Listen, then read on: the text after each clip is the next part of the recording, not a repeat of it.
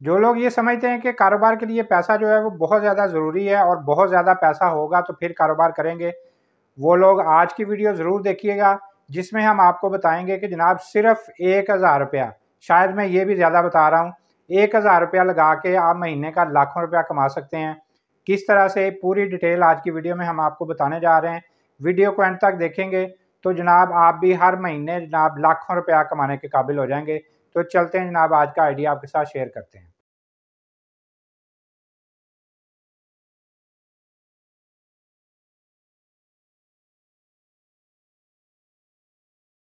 अस्सलाम वालेकुम जी, मैं मोहम्मद अमीन और आप देख रहे हैं मेरा यूट्यूब चैनल आपको पता है हम रोज़ आपके लिए नए से नए बिज़नेस आइडियाज़ और नई नई बिज़नेस टिप्स जो हैं वो वीडियो की शक्ल में लेके आते हैं। तो आज का आइडिया बड़ा ज़बरदस्त है, जिसमें हम आपको बताने जा रहे हैं कि जनाब, कारोबार शुरू करने के लिए पैसे की जो है वो बहुत ज़्यादा ज़रूरत नहीं होती है।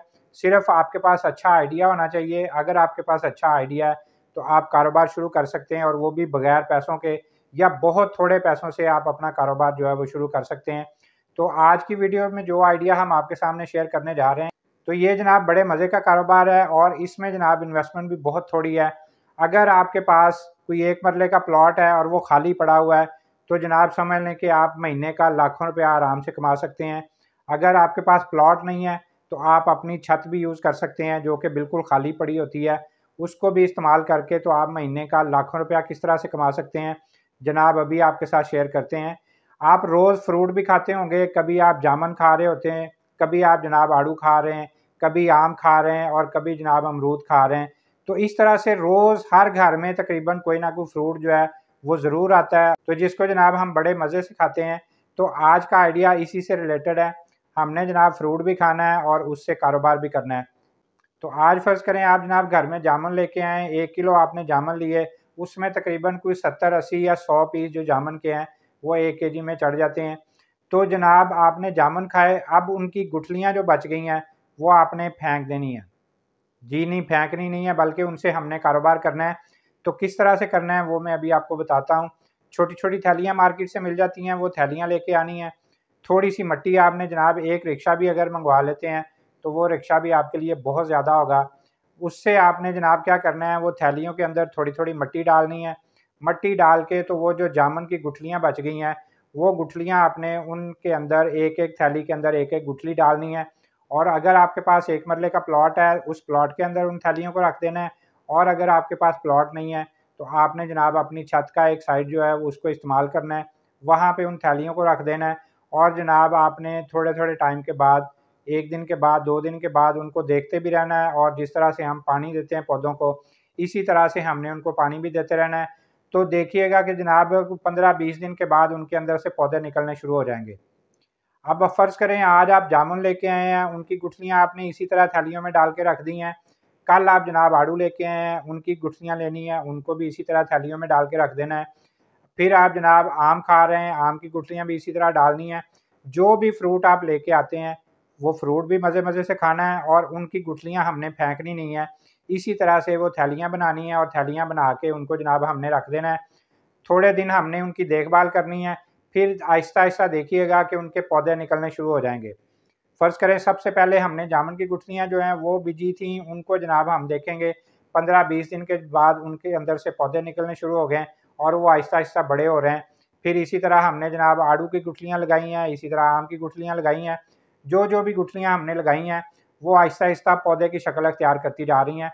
तो इसी प्रैक्टिस को आपने जारी रखना है। डेली आपने जो भी फ्रूट खाना है, एक दिन के बाद खाएँ, दो दिन के बाद खाएँ, उनकी गुठलियों को आपने जनाब इसी तरह थैलियों के अंदर डालना है।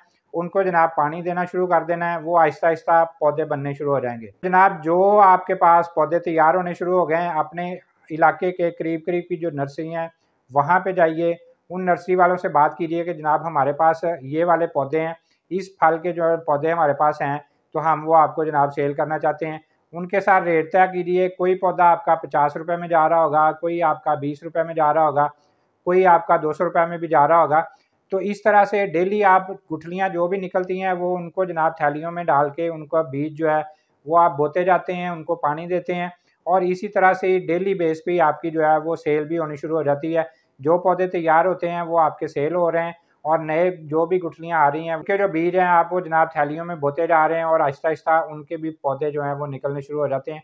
इस तरह से आपकी एक चेन शुरू हो जाएगी। अपने इर्द गिर्द की जो नर्सरियाँ हैं, वहाँ पर जनाब आप इनको सेल कर सकते हैं। बहुत सारे लोग जो हैं, वो जनाब रिक्शे भरते हैं और मुख्तलिफ़ इलाकों में ले जाते हैं, वहाँ पे जाके पौधे सेल करते हैं।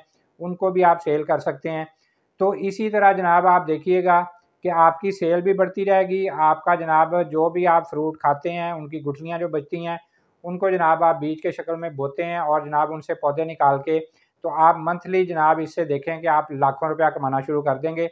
तो जो चीज़ें हम फालतू में फेंक देते हैं, जिनको हम अहमियत नहीं देते हैं, जिनकी हमारी नज़र में कोई वैल्यू नहीं होती है, अगर हम उनको जनाब इस तरह से इस्तेमाल करें, इस तरीके से हम उनसे फ़ायदा उठाना चाहें कोई जगह खाली पड़ी हुई है, कोई प्लॉट खाली पड़ा हुआ है, वहाँ से हम फ़ायदा उठा सकते हैं। वो कोई प्लॉट खाली नहीं है, कोई जगह खाली नहीं है तो हम जनाब अपनी छत का एक एरिया भी जो है उसको इस शक्ल में इस्तेमाल कर सकते हैं।